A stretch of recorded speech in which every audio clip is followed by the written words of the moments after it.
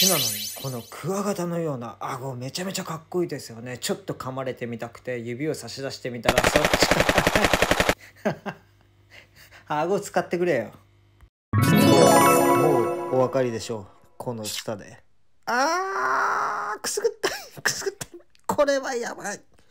これはあっと負けた。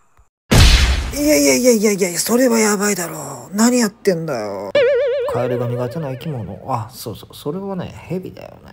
ヘビでヘビを体に入れるとどうなるのか。こんな感じに睨むとね。やめてくれよ。ってな感じにね。かわいい。ちょっとちょっとちょっとこの世界最大の結種類めちゃめちゃ可愛いけどまあ気抜いたらやばいんだよね。こうやって餌あげてたんだよ。手で。可愛いでしょめちゃめちゃ。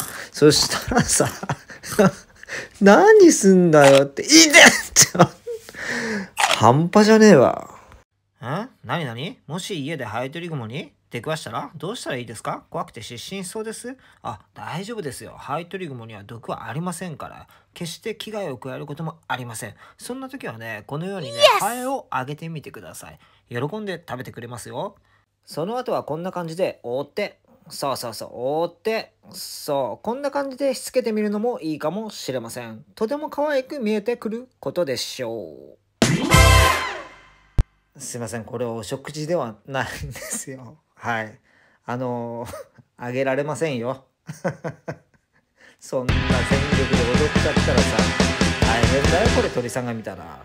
ねえ。ほーら、こっち見ちゃった。踊り始めちゃったよ。